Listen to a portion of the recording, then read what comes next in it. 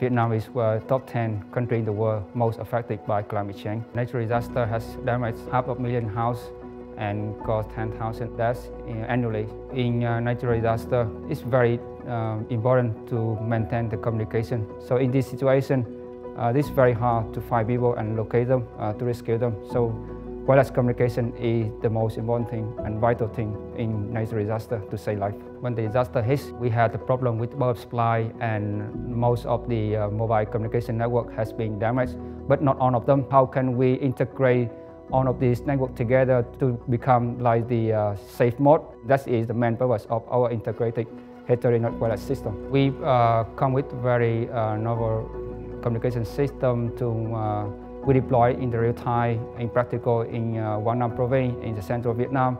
So when the, the flooding, uh, the level of the river coming up, we can already announce and how the citizen living in the downstream of the river to evacuate them. And during that 2016 flooding uh, season, no one uh, uh, died, and that is really one of the uh, strong example of our uh, successful result. We also, in 2017, uh, this research received the Newton Prize uh, by the UK government and our plan is to, uh, to apply our research to more, to vaster area, to not only in Vietnam, but many other countries, especially developing countries.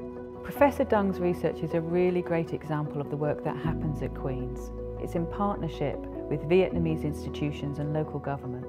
This is research which is happening at Queen's, but is saving lives elsewhere in the world.